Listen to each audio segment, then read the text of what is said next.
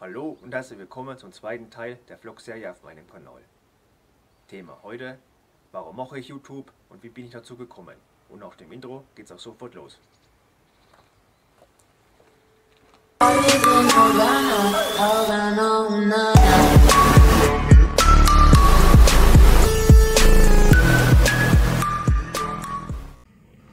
Mache YouTube schon einige Jahre. Diesen Kanal gibt es seit dem 23.02.2015 und ich habe vor vielen Jahren irgendwo mal gelesen, dass man mit YouTube Geld verdienen kann.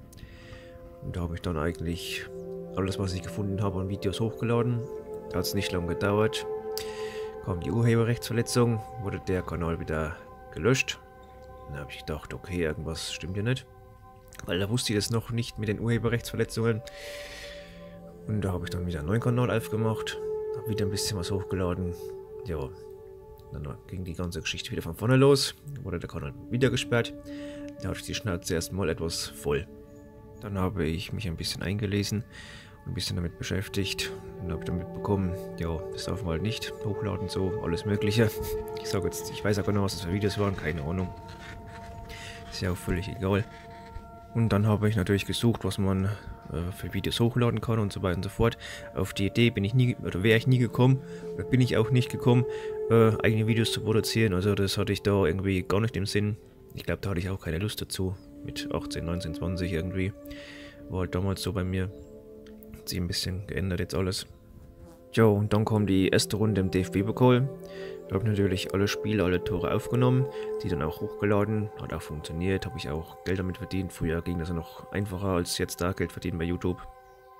Ja, und da habe ich gedacht, na, wenn das funktioniert, letzt soll die zweite Runde auch hoch. Die Spiele aufgenommen, die Tore aufgenommen, auch wieder hochgeladen, hat funktioniert. Dann kommt die dritte Runde im DFB-Pokal, hat auch funktioniert. Dann habe ich gedacht, na, wenn das funktioniert, letzt soll die Bundesligaspiele auch hoch. Naja gut, das hat dann nicht mehr funktioniert, kam dann auch der Strike. Dann durfte ich da keine Videos mehr monetarisieren. Da habe ich dann gedacht, okay, lass das halt gehen. Habe ich dann mit dem Geschäftsführer der DFL, mit dem Herrn Seifert, äh, Kontakt aufgenommen, habe gefragt, ob es möglich wäre, äh, die Videos hochzuladen. Er meinte kurz und knapp, nein, es geht nicht. Na gut, habe ich dann auch ja, fast gehen gelassen, sagen wir es mal so. Ich habe mir dann was anderes einfallen lassen. Und zwar habe ich dann die äh, Videos dann anders hochgeladen, sagen wir es mal so.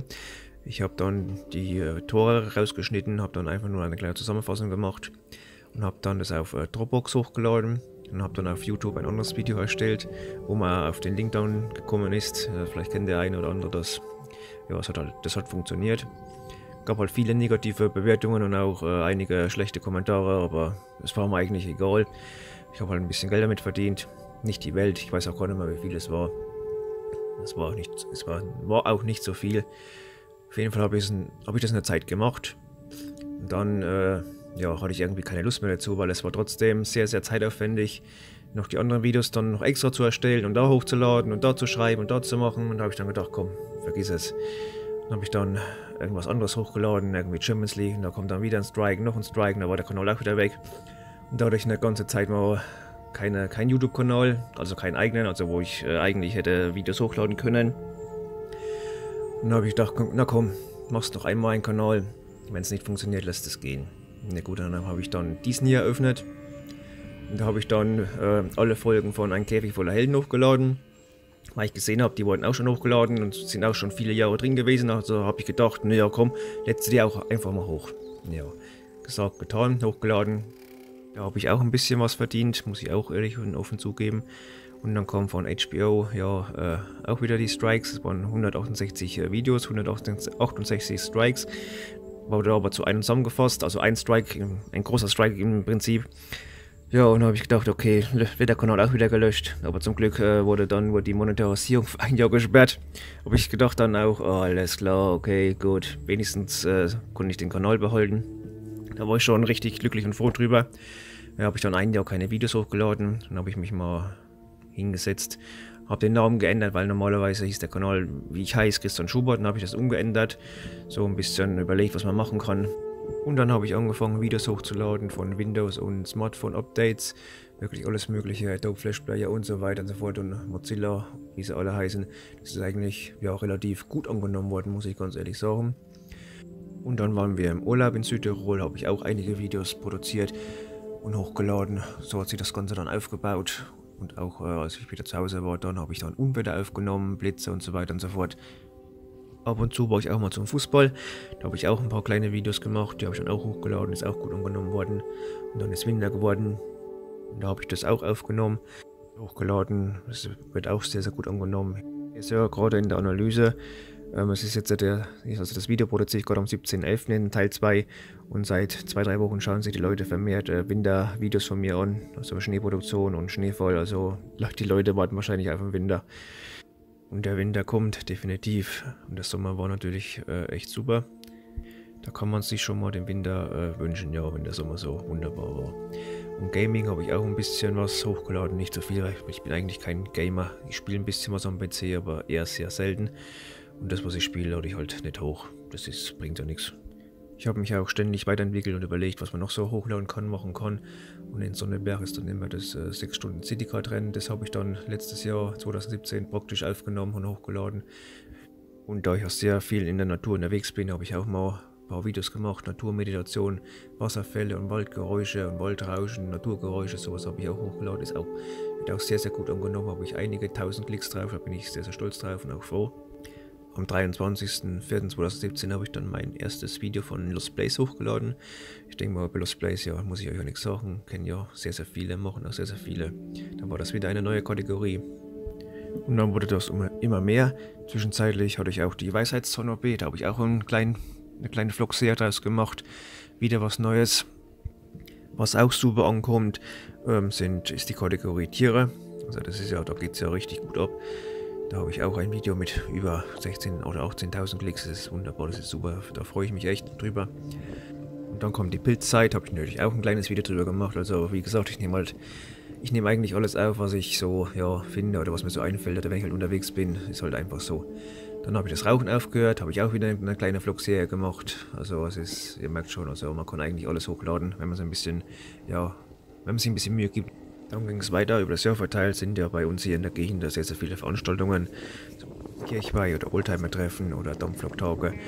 Da, wenn ich, immer, wenn ich mal Zeit habe, fahre ich dann mal hin und nehme das auf und lade das hoch. Das ist halt so, was halt bei uns so los ist, zeige ich dann den Leuten aus, die halt, wo zum Beispiel in München wohnen oder Rostock, was halt bei uns so in der Gegend hier los ist. Wird auch gut angenommen. Und dann habe ich mal ein paar Videos gemacht äh, über Geld verdienen mit dem Handy und am PC. Es wird auch gut angenommen, hat auch funktioniert das ganze Zeug oder funktioniert immer noch. Könnt ihr auch mal reinschauen. Ist echt eine, ein kleines Nebeneinkommen, sagen wir so zwischen 50 und 100 Euro im Monat. Ist schon nicht schlecht. Dann bin ich zufällig auf ein paar Videos gestoßen von, ich sag mal, Kai-Uwe Meier. Äh, ich denke mal, das sagt auch vielen was. Da mit die dubiosen Anrufe von, von Callcenter-Sprach sind, habe ich gedacht, okay, nimmst es halt auch auf und lädst es hoch. Habe ich auch gemacht, habe ich auch acht, neun Videos drin. Wird auch sehr, sehr gut angenommen. Ja, dubiose Anrufer, der Schwachsinn. Naja, muss auch nichts weiter drüber sagen. Ich war zu einigen Veranstaltungen dieses Jahr. Also ich habe jetzt äh, über 500 Videos hochgeladen. Also das ist schon ganz schön, was ich schon gemacht und geschafft habe. Nächstes Jahr gibt es sicherlich auch wieder einige Veranstaltungen, die ich aufnehme. Kommen auch wieder einige Videos dazu. Kommen noch ein paar Lost Place Videos dazu. Ja, die, die Vlog-Serie hier, die, wo ich jetzt neu angefangen habe. Das sind schon 14 Videos in Planung, was ich euch dann zeigen möchte und erzählen möchte. Es sind sehr interessante und spannende Themen dabei, sowohl positiv als auch negativ. Also die Vlog-Serie weiter zu verfolgen, das lohnt sich wirklich für euch. YouTube ist aktuell noch ein Hobby für mich oder besser gesagt eine große Leidenschaft. Es verschlingt trotzdem einige Zeit, viele Stunden gehen pro Video drauf, aber das macht, macht mir nichts aus, mir macht Spaß. Das mache ich auch noch die nächsten Jahre weiter und vielleicht ergibt sich ja mal was, dass ich ja, davon leben kann irgendwann in den nächsten Jahren. Jetzt noch nicht, das weiß ich. Ich mache ein paar Euro Umsatz damit. Alles schön und gut, aber ich hoffe, dass sich das ein bisschen ja, steigert, erhöht, die Abonnenten, die Aufrufzahlen. Ich meine, es, es steigt ja alles so stetig, aber können noch mal einen richtigen Schub geben, das wäre richtig super. Ich habe mir dafür auch ein bisschen Ausrüstung gekauft, also meine, meine große Kamera ist die Canon XH1. Da habe ich noch eine Action Cam, Stative und Taschenlampen, wenn ich unterwegs bin in Lost Places, wenn es dunkel ist. Für Ausrüstung habe ich eigentlich genug. Für das Hobby, so wie ich es jetzt betreibe, reicht es allemal. Wie gesagt, wenn es irgendwas mehr Adresse gibt, wäre es richtig super, würde ich mich sehr, sehr drüber freuen. Aber das zeigt sich mit der Zeit. Ich weiß auch, dass ich qualitativ gute Videos produzieren muss, habe mich auch verbessert. Ich weiß auch, dass ich mich noch mehr verbessern muss. Kameraführung, das weiß ich, da habe ich aktuell ein bisschen Probleme, keine Ahnung warum. Vielleicht liegt es auch ein bisschen an der Nervosität, die ich manchmal an den Tag lege, aber Eigentlich, naja, bin ich nicht so nervös, aber ja, das Video soll halt auch ein bisschen was, soll ein bisschen ansprechend sein, sagen wir es mal so. So ihr lieben Leute, das soll es gewesen sein vom zweiten Teil. Ich hoffe es hat euch gefallen. Schreibt mir was in die Kommentare, gebt mir einen Daumen nach oben und ganz wichtig, lasst mir ein da. Ich danke euch und bis zum nächsten Samstag. Mit Teil 3 geht's dann weiter. Ciao!